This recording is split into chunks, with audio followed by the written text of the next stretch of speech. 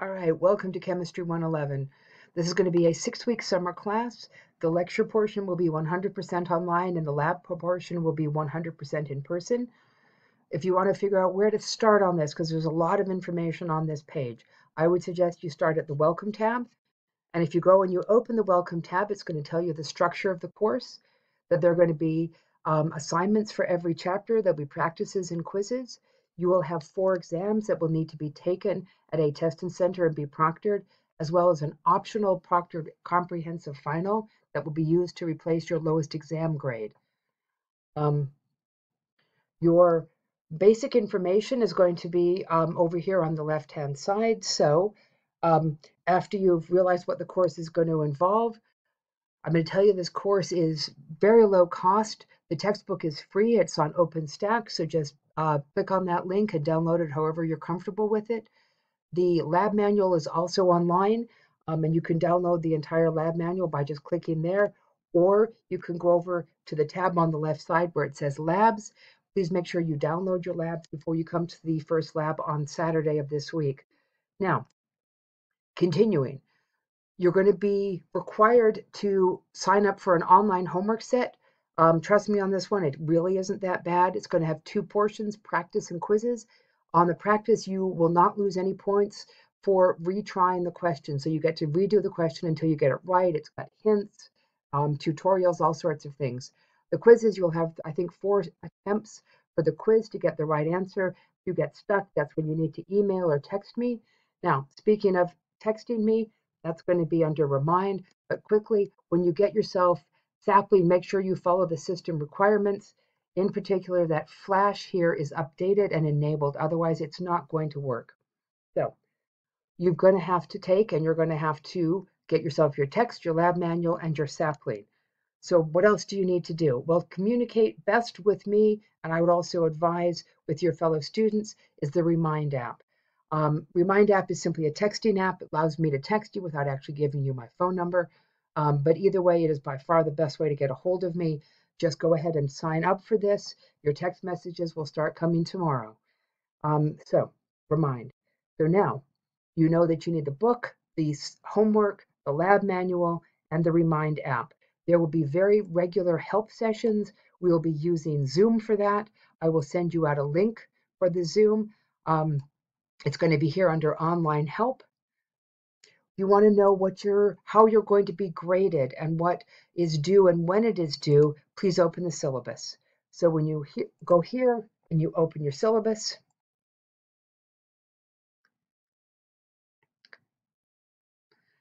we're going to have our syllabus right here. So what do you need? Again, textbook lab manual and sapling. Make sure that your computer is fast enough to make all of this work for lab. Make sure you bring to lab every time we meet goggles, uh, proper clothes and shoes, meaning you can't have sandals on or short shorts. Make sure they're appropriate clothing. Um, and make sure you've printed out the lab or you have your lab uploaded onto a computer so you can write it in on your computer if you or if you have an iPad, that's fine as well. Um, your complete schedule is right here. So um, our first class starts tomorrow and Wednesday. The safety quiz is due on Friday. You have to have it complete before you show up for the lab on Saturday. Lab meets at starting at 10 o'clock, and we will work through each of these labs as we go. Now, grading.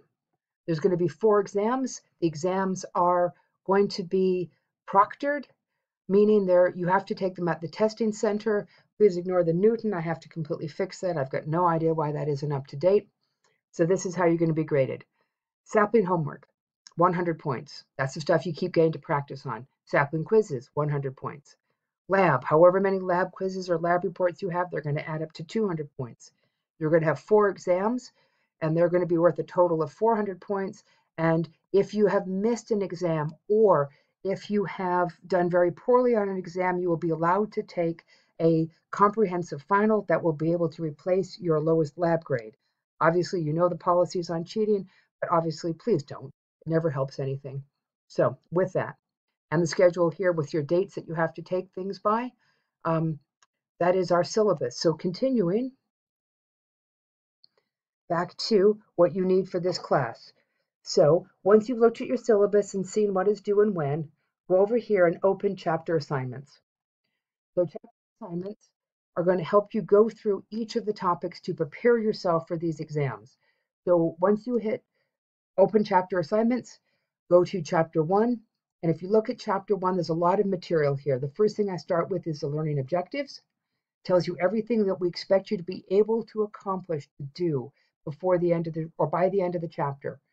It tells you what's graded. What's going to be graded is the practice of the um, homework assignment out of Sapling, the quizzes out of Sapling, any labs that might be involved.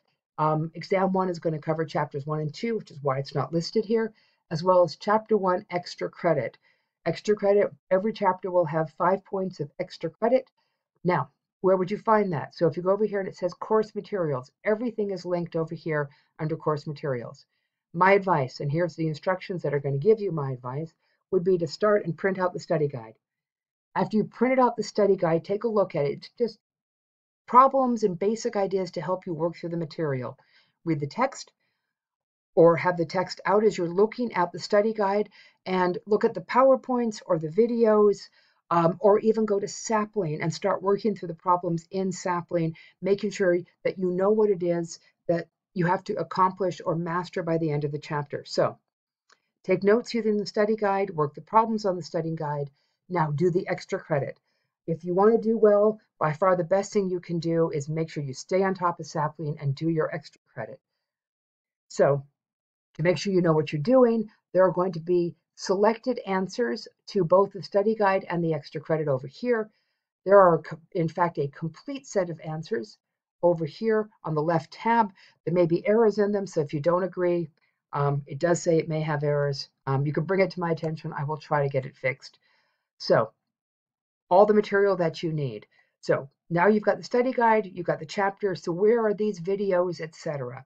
So if you go down to section one, so make sure you scroll all the way down when you look at any one of these chapters, I'm going to give you a remember, a list of things that you need to make sure you can do.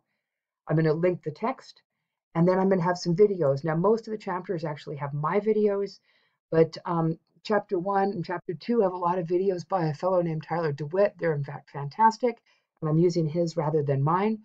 So go through, make sure you can do the material. When you're done, go to the next section. So my next section here is phases. I will fix that spelling mistake and classification of matter.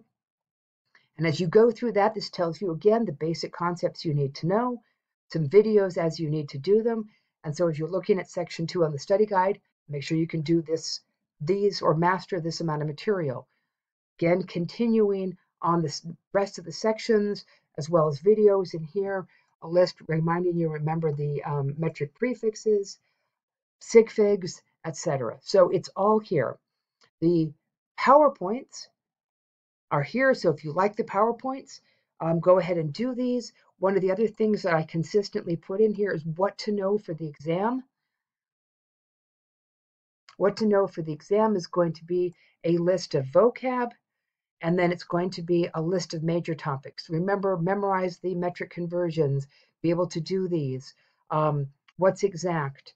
um, formulas involved, know the work of, just a lot of information, the basic um, ions you need to know, etc. So that is going to be um, what is in the what to know for each exam is going to be one of those. So once you have done all of those, go and do the practice and the quiz on sapling. Make sure again you complete the extra credit. It's fantastic practice. So once you've got the extra credit done, what do you do with it? Well, you're going to come down here and you're going to submit it here. Um, and we will give you extra credit. It's five points per chapter of extra credit, and it's really going to be a great deal of help. So once you've got chapter one done, you're going to go on to chapter two. So I think that's about it. Again, what you need to make sure you have is you know what's on the syllabus, you know when the due dates are, you know how to navigate chapter assignments. You have signed up for Sapling Learning. You have signed up for Remind, and the one other thing that I have in here is I just have other information. So what to know for the exams is in here. Sample exams are in here. A thing called class notes where I've just tried to take and um, condense the amount of information for each chapter into one small spot. And also in here is going to be a section called exams When you go to the exams, it's going to tell you how to um, print out and do the exams, um, the passes for these. It's going to discuss how to do subscripts and superscripts. And it's also going to give you a, a copy of what the equation sheet looks like. So take a look at the equation sheet here. This is the one you're going to be getting when you go to the testing center. All right, that's all I got.